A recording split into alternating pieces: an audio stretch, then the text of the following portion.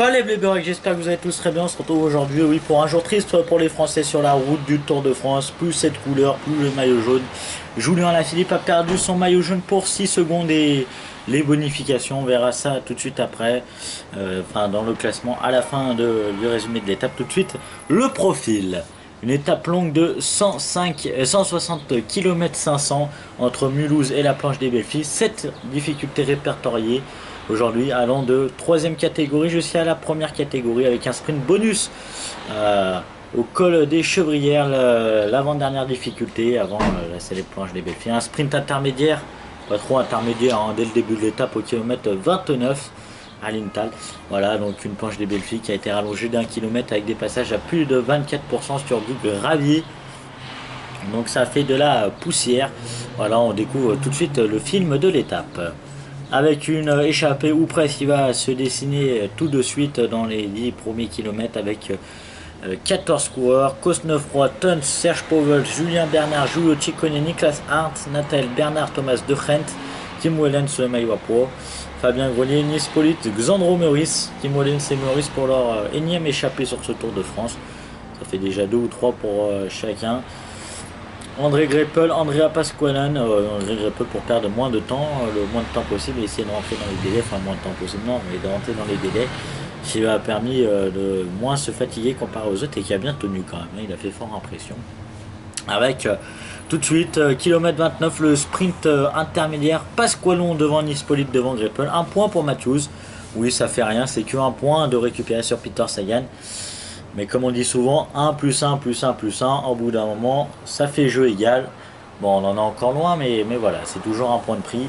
Tim Wellens qui va passer en tête du Markstein au kilomètre 43,5 et prendre des points pour le maillot à poids. 10, 8 pour Giulio Ciccone et 6 euh, pour Xandro Meurice. Thomas de Rent, euh, suivi de Giulio Ciccone, va un peu lâcher euh, l'échappée à au grand ballon pour prendre les points. 1 pour 2 pour euh, Thomas de Rennes qui rêve toujours à son âge de remporter le maillot à pro malgré que les, euh, le maillot est euh, sur les épaules de un de ses coéquipiers. C'est surtout pour le consolider.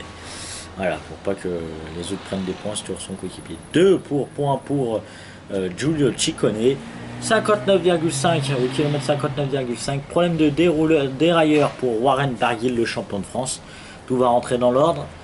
Bernan et euh, Beran, pardon, Nathanael Beran passe en tête du col du Hunsdruck. Dites-le moi pour la prononciation, comme le nom des coureurs, comment ça se prononce si je le prononce mal. Et je m'en excuse. Et prend 5 points pour le maillot poids. Tim deuxième, 3, prend 3 points. Et 2 pour Giulio Ciccone, qui passe troisième. André Greppel lâché par les hommes de tête au kilomètre 93. Il aura fait une bonne partie en tête devant. Changement de roue pour Warren Barguil.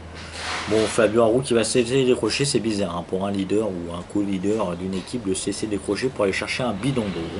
Il y a plutôt des porteurs euh, d'eau dans les équipes, ils sont souvent dit à l'avance, mais là, bizarrement.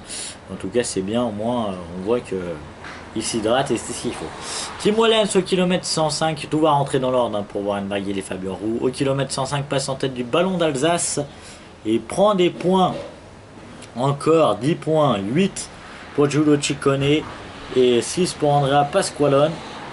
Euh, kilomètre 105, la Movistar se replace en tête du peloton. Peloton qui va se casser en trois parties 15 km plus tard au kilomètre 120. Kilomètre 121, la Borance Gros commence à se mettre à rouler en tête du peloton. Attaque de Thomas de qui au passage prend 2 points pour le maillot à peau au, sol, au sommet du col des Croix. Désolé si je regarde pas trop la caméra. Et qui consolide le maillot de son coéquipier Tim. Il décide de continuer en solitaire. Un point pour Tim Wellens. Voilà. Euh, bon, il va. Greppel, lui, il va être repris par le peloton maillot au kilomètre 130. Il n'y aura plus que 30 km à combler et dans les délais, il passera tranquille. Voilà, euh, au moins, il n'aura pas trop à se fatiguer. Peter Sagan va être lâché 9,5 km plus tard. Ils ont dû sûrement se retrouver. Voilà, entre. Ils, doivent, euh, tous les sprinters doivent être potes au bout d'un moment quand il y a les groupes et tout. Enfin, je dis ça, mais ils sont quand même ils s'affrontent quand même dans les étapes de sprint, mais autrement ils doivent être potes hein, quand même, parce qu'ils passent leur journée ensemble souvent euh, quand il y a les étapes de montagne. Thomas de Rent au kilomètre 140, 133 euh, va être repris par ses poursuivants. Au kilomètre 142,5, il est lâché. Au kilomètre 143, oui, oui Au kilomètre 141,5, pardon, il va être repris par ses poursuivants. Kilomètre 142,5, 141 va être repris par ses poursuivants. 142,5 lâché. Et au kilomètre 143, euh, Giulio Ciccone passe en tête du col des Chevrières, prend 5 points, ainsi que 8 secondes de bonus qui va être fatal à Julian Alaphilippe. Euh, Julian Alaphilippe, pardon. Et passe deuxième, prend 5 points et 3 points et 5 de bonus. 2 points et 2 secondes de bonus pour euh, Tim Wellens.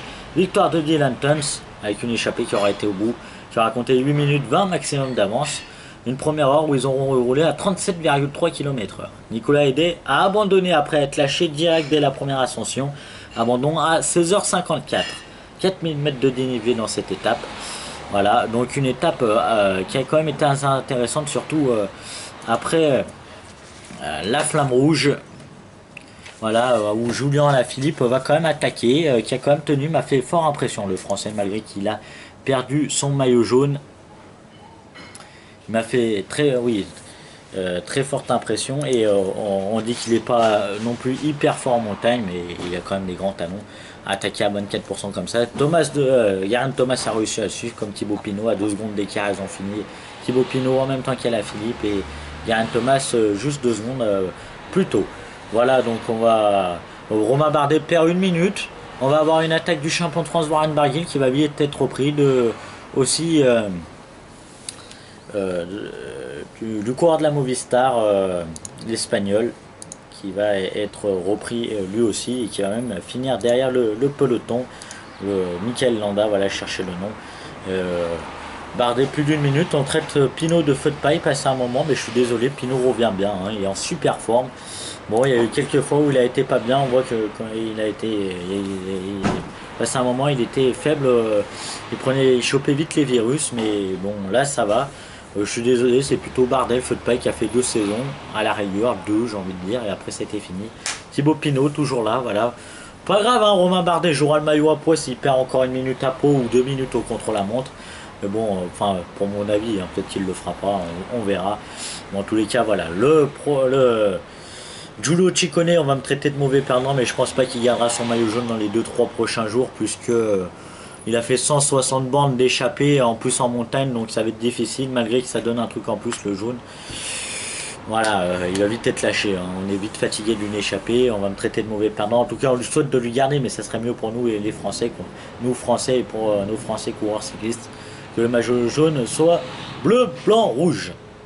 Voilà, le classement de l'étape, c'est tout de suite. Victoire de Dylan Tuns en 4h29 et 3 secondes. À 11 secondes, Giulio Ciccone.